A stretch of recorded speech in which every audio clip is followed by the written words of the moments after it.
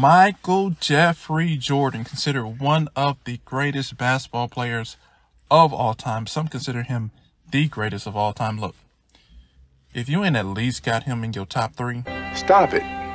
Get some help. back in 2010, he acquired majority stake of the Charlotte Hornets worth $275 million.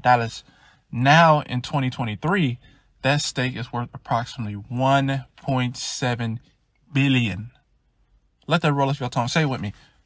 Billion dollars. Boy, I would be smiling like that too, Mike. The ROI, y'all know what that is, return on investment.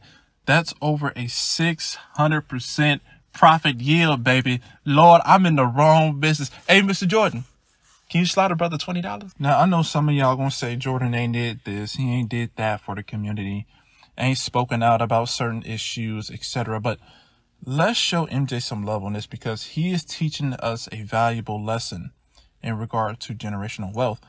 Even though we all can't have ownership of an NBA team and make money, we can all have ownership of something and create long-term cash flow, whether it be stocks, real estate, music, a business, maybe a podcast. Own something, have something that you can call yours. Moreover, own your money. And by owning your money, you begin to own your time. If you do this, you're going to be proud of yourself for the rest of your life. Trust me. Let us know down in the comment section your thoughts. From yours truly, Financial 4.